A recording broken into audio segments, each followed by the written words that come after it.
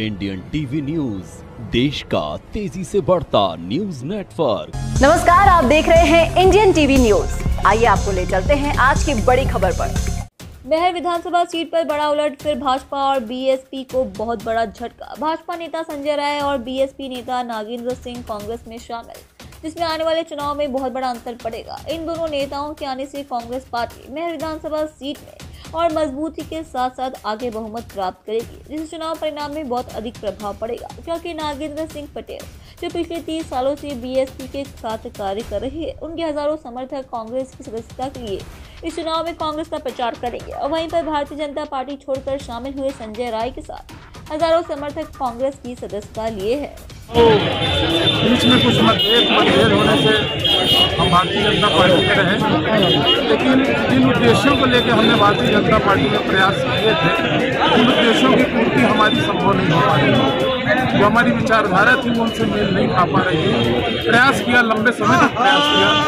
लेकिन जब मुझे ये दिखाई देने लगा कि मैं अपने क्षेत्र, शहर और अपने साथियों के लिए उस तरह से काम नहीं कर पाऊँगा, जिस तरह मन में भावना है और कांग्रेस पार्टी ने जिसे प्रत्याशी बनाया तो मुझे बेहतर विकल्प मैया के लिए दिखाई दे रहा है।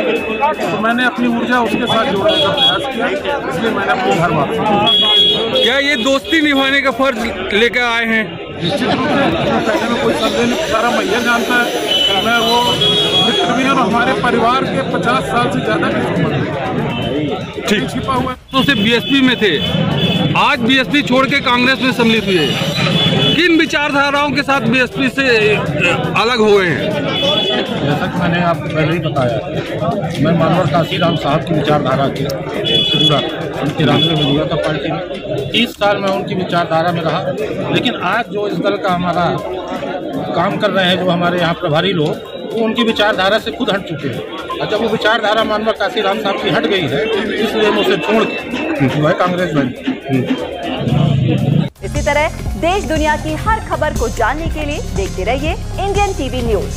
हमारे चैनल को सब्सक्राइब कीजिए और हमारे इस वीडियो को शेयर ज़रूर कीजिए। धन्यवाद। फिर मिलते हैं अगली खबर के साथ।